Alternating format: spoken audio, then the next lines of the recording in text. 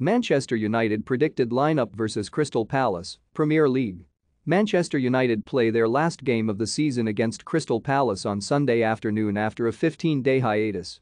Ralf Rangnick and co have had more than two weeks to mull over arguably their most embarrassing defeat of the campaign.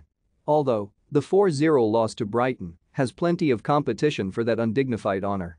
Here's the lineup Rangnick may deploy to end a dire season with a final flourish.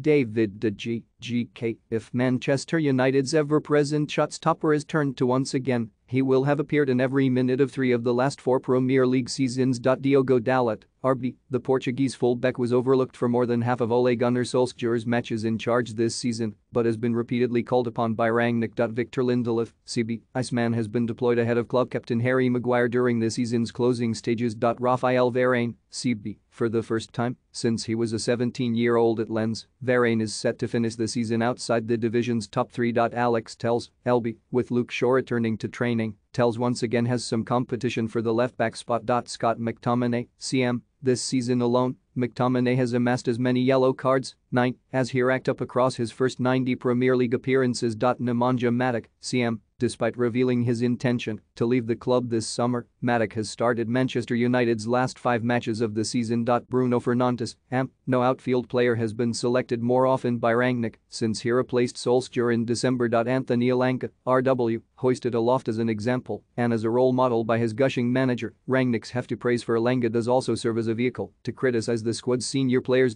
Cristiano Ronaldo, St. Manchester United's leading scorer is set to make his first trip to Selhurst Park since March 2005 when he came on for Quinton Fortune in the second half. Marcus Rashford, LW, after recovering from a bout of bronchitis, Rashford may have earned his first away start since the beginning of April with Jadon Sancho only just from a spell of tonsillitis himself.